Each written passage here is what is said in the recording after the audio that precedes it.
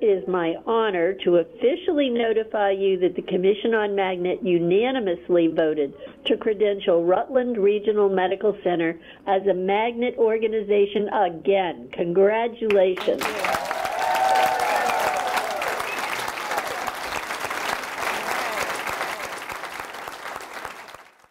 I congratulate you and I say that Rutland Regional Medical Center is now one of the two magnet organizations in Vermont, which is testimony to your commitment at the organization to nursing excellence to the entire healthcare team, but most importantly to the patients you serve. That caring, that specialness that you bring every day to your job Carol and I see all the time, mm-hmm.